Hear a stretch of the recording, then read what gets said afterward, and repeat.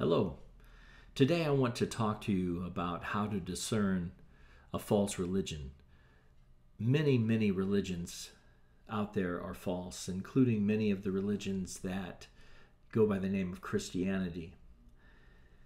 It's important for us to have some basic understanding about God's true religion, which is Christianity, and about the Bible itself. A couple years ago, actually just last year, I purchased this book. It's called The Buddha Said by uh, a man named Osho, a Buddhist.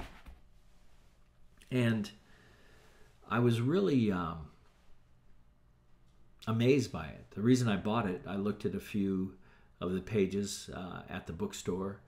I think it was at a Barnes and Noble, and the things that he was saying were um, profound, very profound. In fact, they were really biblical truths. He was teaching things that Buddha taught many years ago, and he was explaining these things in a way that was all I can say is profound. It was uh, almost like reading scripture itself.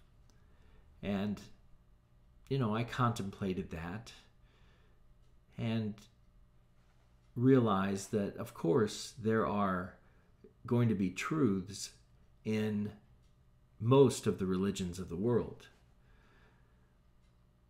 God has given us a conscience whereby we know truth. We know things that are right and things that are wrong. Every culture, for example, has laws against theft, laws against adultery, laws against murder, and so on. We are now living in an age where the law is being changed. And that's going to come in a lot into what I say with respect to how to discern a false religion. Before I get to that, though, I want to say Buddha did not believe in God. Interesting. Buddhist, a true Buddhist does not believe in God. Well, there's a verse in Hebrews. Hebrews chapter 11 says this. It says, Without faith, it is impossible to please God. For whoever would draw near to God must believe that he exists and that he rewards those who seek him. God is real. There is a God. And by faith, we understand that and we begin to grow in the knowledge of God as we, when we come to faith. But with respect to what I just mentioned about law, I want to turn to 2 Peter chapter 3.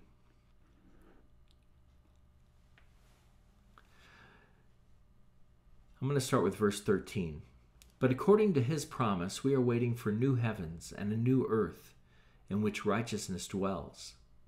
Therefore, beloved, since you are waiting for these, be diligent to be found by him without spot or blemish and at peace, and count the patience of our Lord as salvation just as our beloved brother Paul also wrote to you according to the wisdom given to him, as he does in all his letters when he speaks in them of these matters. There are some things in them that are hard to understand, which the ignorant and unstable twist to their own destruction, as they do the other scriptures. For example, here, I believe he's talking about how people will use the words of Paul to say that the law is utterly irrelevant now. So Peter continues, he says, right after mentioning Paul's letters, verse 17, he says, You therefore, beloved, knowing this beforehand, that people will twist the scripture, knowing this, take care that you are not carried away with the error of lawless people and lose your own stability. Let me read that again. Take care that you are not carried away with the error of lawless people and lose your own stability. This is how we know a false religion.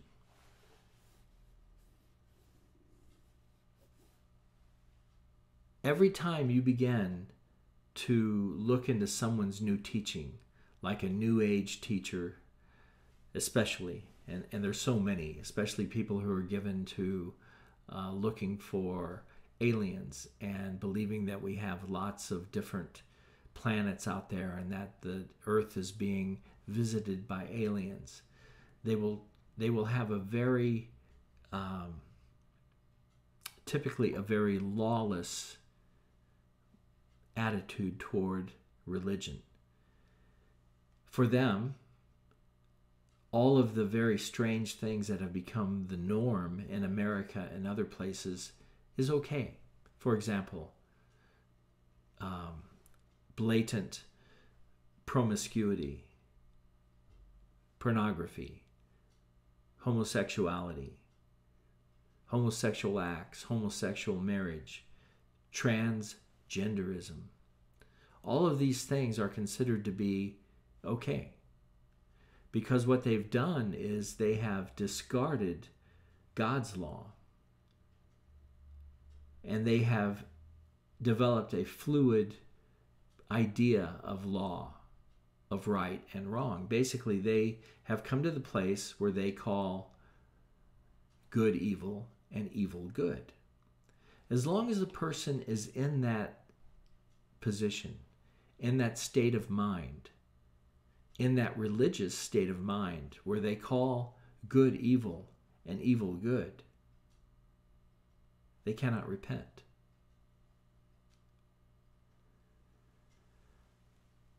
That's the unforgivable sin. And that's why it's unforgivable because if a person cannot repent of his sin, he cannot believe in Jesus for the forgiveness of sin because there is no sin. As long as someone believes that there is no sin, there's no need for Jesus. There's no need for the atonement of the blood of Jesus. It's irrelevant. Why would you why would you ever have faith in that if there is no sin? And so anyone and there are multitudes of Christians who have accepted this um, travesty of the homosexual agenda in this country of America and also in many of the other countries of the world. They're lawless.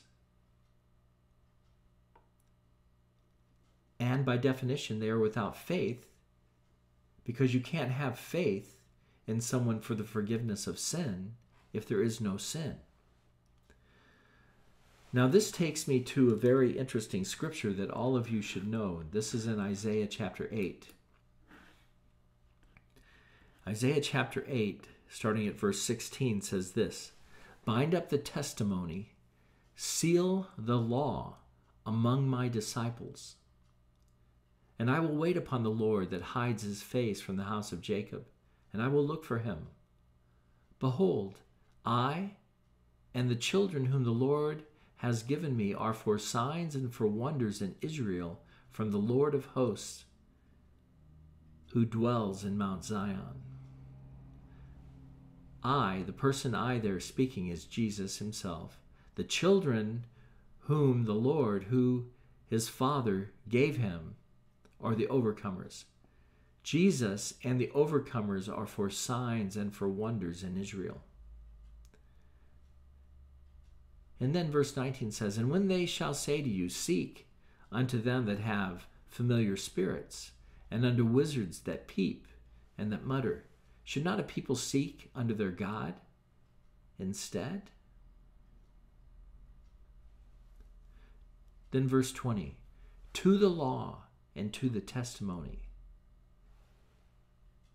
If they will not speak according to this word, according to the law and the testimony, it is because there is no light in them. what is the law? God gave the law, the Ten Commandments, and then explanations of the commandments to Moses in the book of Exodus. You have laws, specific laws that Moses wrote down in the books of Exodus, Leviticus, Numbers, and Deuteronomy. Those laws are still relevant. But we're not saved by those laws or by obedience to those laws. If I perfectly obey the law, if I could have perfectly obeyed the law from the beginning, then I could have earned heaven from my own merit. But no one can do that. Only one has done that, and that's Jesus. None of us even understand the law, understand all the law, but we do understand some things. We do understand do not murder, do not kill, do not steal, do not commit adultery. We understand have no other gods before me, do not worship idols, do not make idols and bow down to them, honor your mother and your father. Honor the Sabbath day and keep it holy. Do not covet. Paul said, I would not have known what it meant to covet if the law had not said, Do not covet. But then he began to understand how this lust for things came to him. In the law, God calls homosexual acts abominations. The law called for the stoning of people who practiced homosexuality. Well, also for people who committed adultery. The law called for stoning. And now we have rampant adultery in our culture.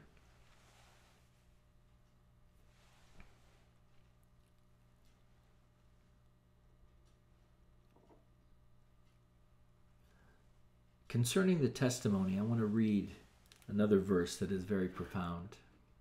Revelation chapter 19.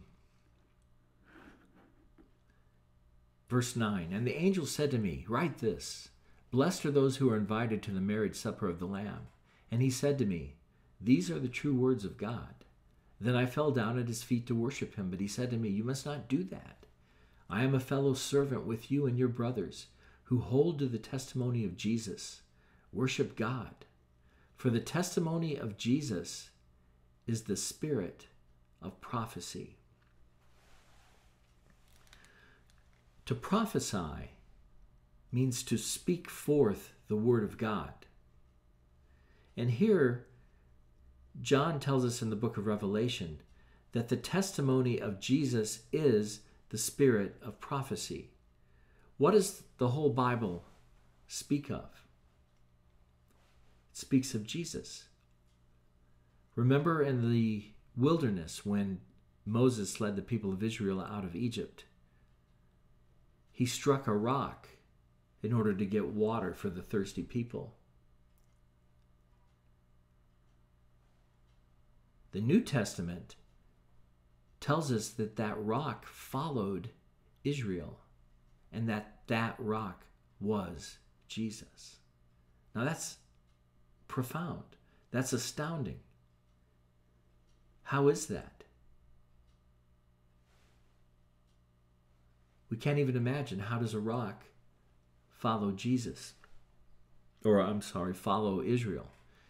And how can a rock be Jesus? But yet, many times in the Psalms, you have David, for example, speaking about the rock of his salvation, God being that rock. And so God was with Israel through the wilderness.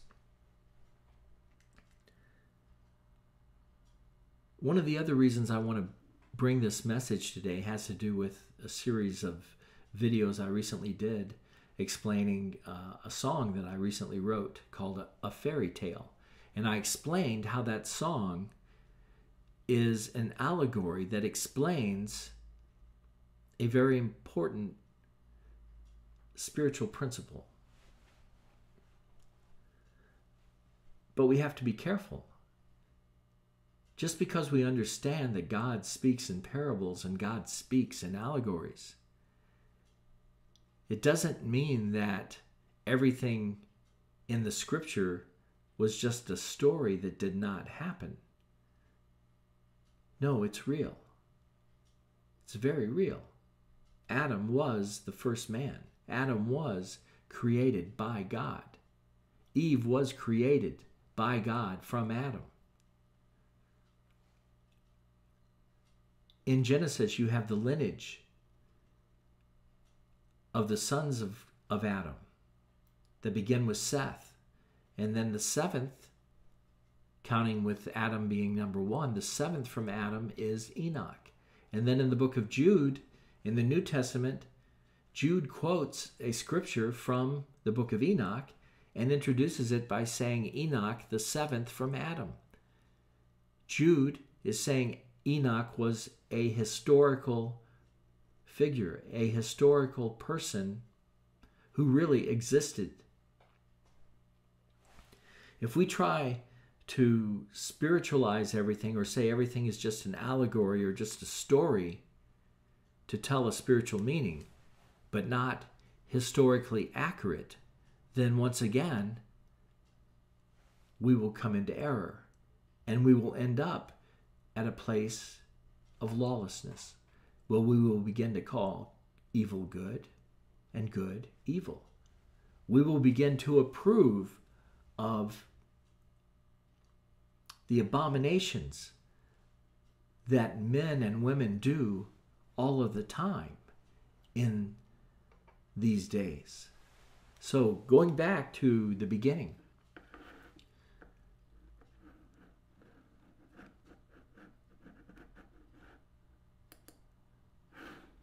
Second Peter,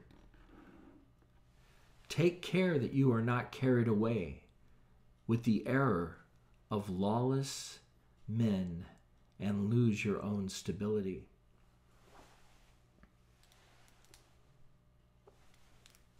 Earlier, in I believe it was this very same chapter,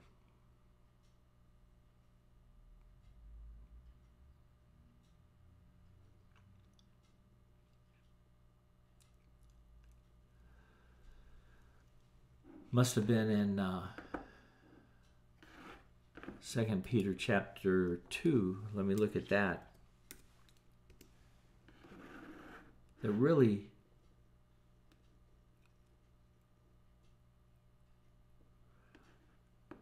really will bring this home.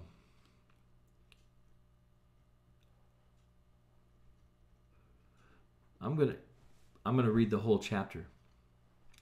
But false prophets also arose among the people and just as there will be false teachers among you, who will secretly bring in destructive heresies, even denying the master who bought them, bringing upon themselves swift destruction. And many will follow their sensuality, and because of them, the way of truth will be blasphemed. And in their greed, they will exploit you with false words. Their condemnation from long ago is not idle, and their destruction is not asleep.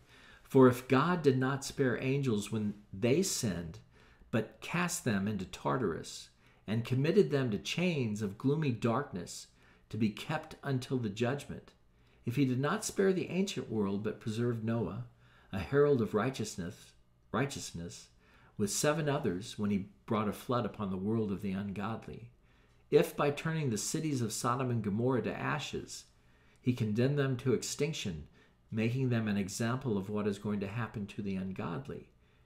And if he rescued righteous Lot, greatly distressed by the sensual conduct of the wicked, for as that righteous man lived among them day after day, he was tormenting his righteous soul over their lawless deeds that he saw and heard. Then the Lord knows how to rescue the godly from trials, and to keep the unrighteous under punishment until the day of judgment. Remember, it was homosexuals who were wanting to to have sex with these male angels who had come to Lot in Sodom.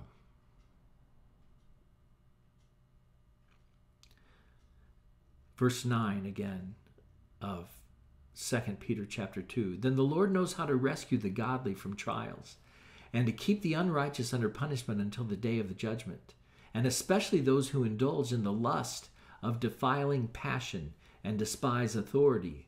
Bold and wilful, they do not tremble as they blaspheme the glorious ones. Whereas angels, though greater in might and power, do not pronounce a blasphemous judgment against them before the Lord. This is talking about Satan. You do not speak lightly about Satan or any spiritual power.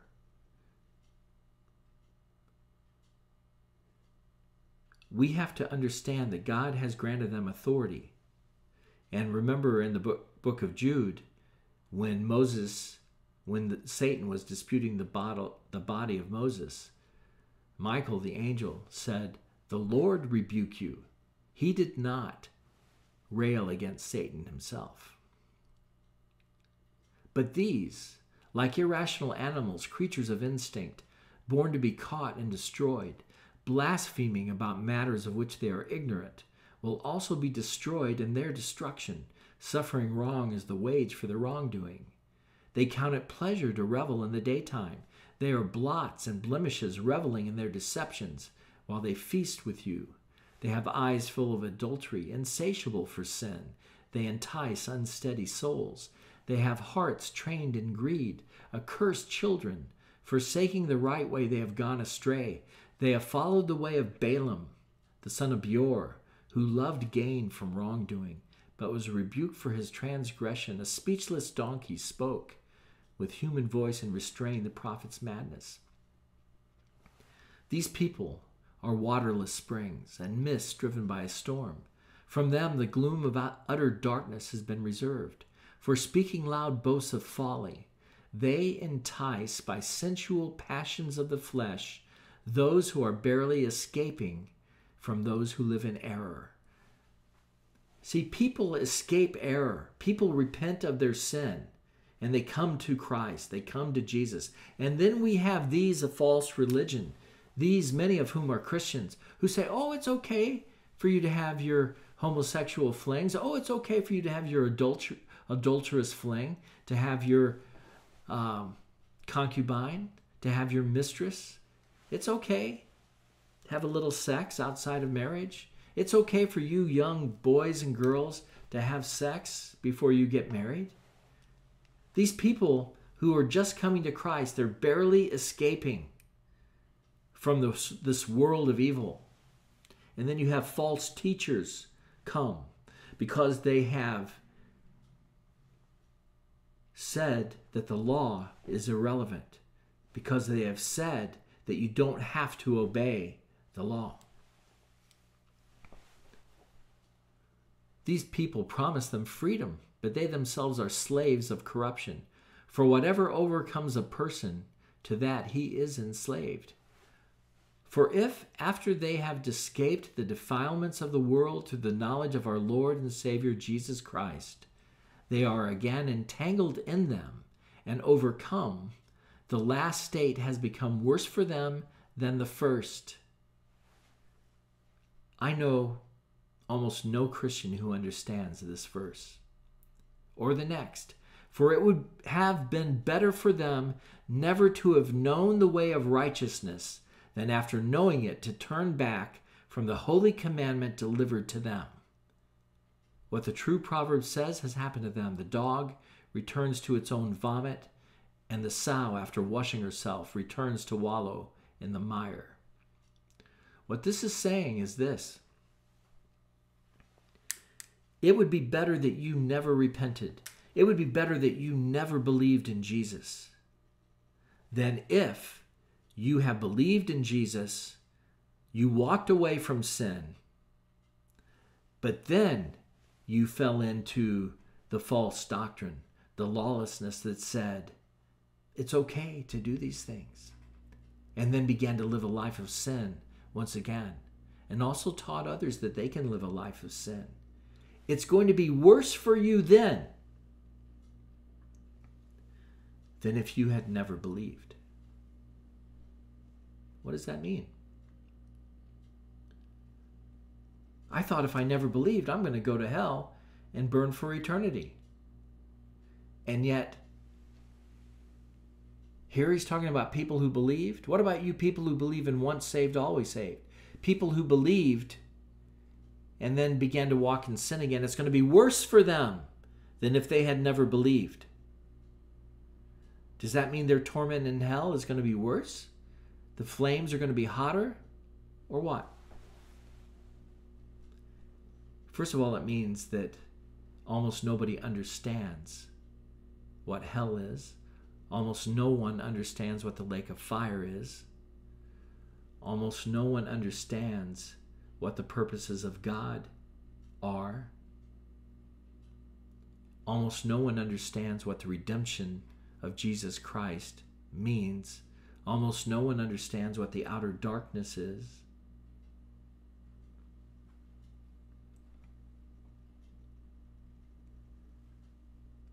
We need to take the warnings of Scripture seriously. God will not be mocked. God is a holy and righteous God. And any of us who ever want to see Him must desire to be perfect, even as He is perfect. None of us are perfect right now, but there are some of us who want to be. There are some of us who have decided that we really do want to be perfect as our God is perfect. Anyone who's satisfied with anything less than that will always be outside of the kingdom of God, will always be outside in the outer darkness. How far away? How dark? How pitiful? How tormenting will that existence be until they begin to turn and they begin to say, God, there really is good and evil. There really is right and wrong. There really is truth. Ah. Is that why you gave us the law? so that we would understand the truth? I think so. I think so. And now, finally, let's go to the last book of the Old Testament, the last verses of the Old Testament. Malachi chapter 4, verse 4. Remember the law of my servant Moses, the statutes and the rules that I commanded him at Horeb for all Israel. Israel is the code name for God's overcomers, for those who will get in to heaven, into the New Jerusalem. Behold, I will send you Elijah the prophet before the great and awesome day of the Lord comes.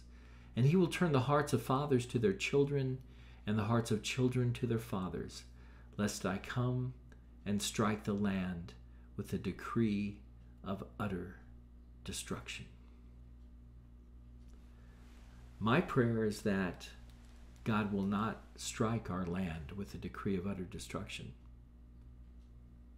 That we will not see horrendous hell upon earth but that we will begin to see repentance. We will begin to see people remember the law of my servant Moses, the statutes and the rules that God commanded him.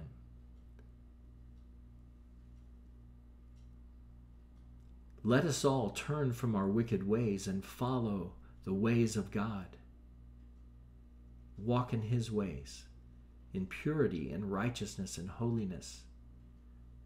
Identify the false prophet, identify the false church, identify the false religion, whatever religion that is. You can always identify the false religion because they all disobey God.